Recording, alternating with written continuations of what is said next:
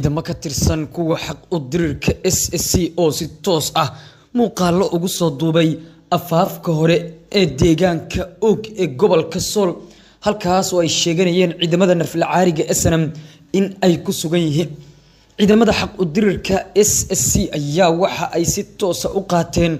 go'aan rasmiya oo ah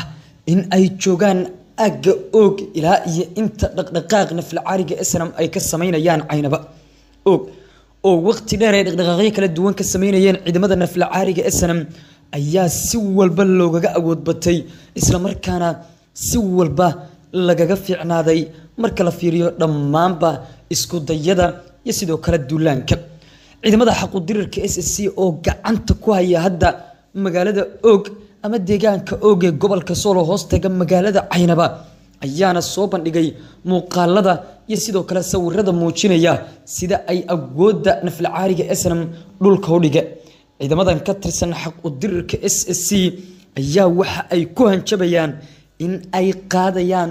tallaabooyin iyo go'aano cadcad islamarkaana dhulka dhigayaan wax walba oo la xiriira nafla caariga snm iyo sidoo kale go'aanadooda kala duwan.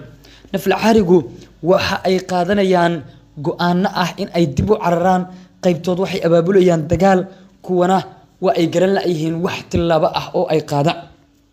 balse ciidamada xaqudirirka s c iyaga go'aankoodu waa u cadyahay meel ayuu u yaalaa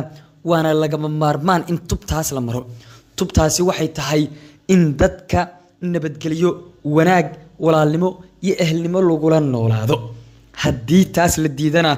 la qaado tallaabo cad oo cagta lagu marinayo nafla caariga snm iyo cid walba oo soo dabagasha kabaqaadna u ah taas oo muuse biixi cudur ku riday uuna la jiifo gudaha jabuuti. Ismaaciil cumar geelle saaxiibkiis inuu u danaaniyo wax una tara ayuu isku dayey balse wax walboo ismaaciil cumar geelle sameeyaahi waa ceb iyo fadeexad. Ismaaciil horor ayaa la soo wariyey in uu u soo diray laascaanood iyo aagageeda kooxa basaasiina oo dhibaato deegaanka ka abuura marka la xaqiijiyey islamarkaana ciidamada xaq u dirirka s c ay ka war heleen. Iyo saraakiishooda iyo maamulka khaatumaba isku dayada ismaaciil horor ayaa oo ay banaanka soo dhigeen ayaa nafla caariga snm iyaguna tallaabo kale oo ay doonayaan in dadka magaalada laascaanood ay ku xumeeyaan ayay soo saareen. Waxay sheegeen in al-shabaab badan ay gudaha u galeen magaalada laascaanood ee xarunta gobolka so balse waxaa la ogyahay al-shabaab cidda dhashay cidda hogaamisa cidda taakulaysa cidda dhaqaalaha ku bixisa iyo cidda madaxdeedu ka soo baxaanba waa isaaqa dega gobollada waqooyi ee soomaaliya. Taas oo aysan cidna uga sheekeyneyn cidnana aysan ka dhageysanayn nafla caariga snam waxay qaateen go'aano cadcad iyo sidoo kale tallaabooyin muujinaya in ay cadaawad xaddaafa u qabaan bulshada s s c balse ciidamada xaqudirirka s s c ayaa cadaawad kale ku sii beeray oo weliba tusay in deegaanada s s c ay leeyihiin maamul iyo awood milatari oo cid walbo isku dayda inay ka hor timaado maqoonin karta kuna qasbi karta oo sanka kaga toli karta rabitaanka deegaanada s s c nafla caariga snam dhammaanba tillaabooyinkan iyo go'aanadan waxay ka dhigayaan in ay si walba u hooseeyaan u liitaan feejignaan la'aanna u yihiin dhinacyada kala duwan ee nafla caariga sidoo kalena waxay tusayaan in aysan ciidamada xaqudirirka s c iyo dadka reer s c ba ahayn kuwa inta badan ka maqan islamarkaana ka fog waaqica. Habrihii odayaashii dhacay kuwii beri hore ay ugu dambeysay adduunka iyo meelu marayaba waxay hadda ku soo kaceen. Ciidamadiinii la idinka dhaadhicinayay soddon sano waa awood ayaa dhegta inta lagu dhuftay. Weliba iyagoo habqana saraakiishii laga qabtay oo hubkii laga qanimaystay oo iyagii la qabqabtay oo dhaawacyo iyo iyagoo noolba gacanta lagu dhigay ayaa haddana la haya taas ayaana waxay ka dhignayd in la joogo xilligii ugu habboonaa islamarkaana ugu muhiimsanaa ee nafla caariga snm si toosa gacanta loogu soo dhigi lahaa. Nafla caarigu waxa ay u arkaan in aysan hadda wax wadaa u furnayn balse muuse biixi dhibta haysata iyo sidoo kale culayska saaran waxa uu yahay dad uu muddo soddon sano ka badan been brobagando huuhaa iyo hala iga sheego ku akhrinayay ayaa hadda jawaab ka sugaya. Taas ayaana keenaysaa in derbiyada madaxa uu ku garaacdo mar uu xanuun u jilo jabuuti iska jiifsado marka cabaar qaylada iyo wareerku batana muuqaal dhowr bilood ka hor la duubay oo isagoo hargeysa dhex ordaya ah sidii nin waalan uu meelaha soo dhigo taasoo muujinaysa in muuse biixi uu jabay fashilmay guuldaraystay wax dambe oo u harayna aysan jirin. Caafimaadkii caadiga ahaa ayaa meesha ka baxay oo muuse biixi sokortii ku kacday wareerkii maalmahan haystay iyo dhibaatadii kale ee la socotay ayaa saameyn ku yeelatay mar kalese waxaa laga cabsi qabaa in xanuun miskaxiyana uu ku dhaco maadaama uu saaran yahay culays weyn oo kaga imaanaya dhanka deegaanada snm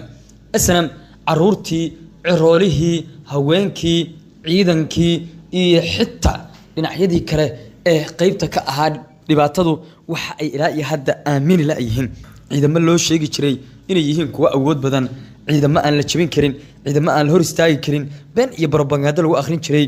ayaa hadda jawaab looga baahan yahay. Taas ayaana waxay keenaysaa in lama huraan ay tahay in la qaato go'aano iyo tallaabooyin cadcad oo ay tahay in laga jawaabo. Odaygii muuse ahaa in muuqaal ay ciidamada xaquudirirka s c ku soo duubaan gudaha deegaanka og. Waxay u tahay nafkabax waxay u tahay guuldaro waxay u tahay fashil waxay u tahay jab waxayna muujinaysaa inaysan jirin wax dambe oo dadka uu ku madadaalin doono. Nafla caaliga waxaa si toosa ay ugu jiraan maalmahoodii ugu xumaa maalmahoodii ugu adkaa muuse biixi ayaana ugu daran waana isaga ninkii sheegin jiray benta iyo brobagandada xildhibaan maxamed abiib oo ka tirsan golaha wakiilada nidaamkan waxa uu sheegay in muuse biixi taariikh uusan lahayn geesinimo uusan lahayn raganimo uusan lahayn ad adayg uusan lahayn iyo sidoo kale go'aan qaadasho uusan lahayn uu dadka ugu sheekeyn jiray. Wuxuuna sheegay in uu maanta si weyn ugu farxayo in ay si toos ah u qaadan lahaayeen. Muuse biixi dadka agdhow go'aanka ah in ay odayga kula taliyaan in gebi ahaanba uu iscasilo xildhibaan maxamed abiib oo keliya ma dalbanaya salaadiisa balse inta badan siyaasiyiinta wax fahmi kara ee deegaanadaas ayaa dalbaday. Sidoo kale qaar ka mid ah jabhadda gacan libaax ayaa soo jeediyey xubnahoodu in muuse biixi uu iscasilo si heshiis is-afgarad iyo isfaham doorasho loo gaaro. Taas ayaana waxay sababaysaa in dhinacyadu ay qaataan go'aano cadcad iyo sidoo kale tallaabooyin lama huraan ah oo muhiimay tahay in jawaab rasmiya laga bixiyo. Nafla caariga snam waa ay guuldaraysteen way fashilmeen waa ceebaysan yihiin mana jirto wax dambe oo laga sugayo. Walow waayahan ay ku dhawaaqayeen og inay haystaan. Haddana muuqaalkan dhallinyarada ayaa beeninay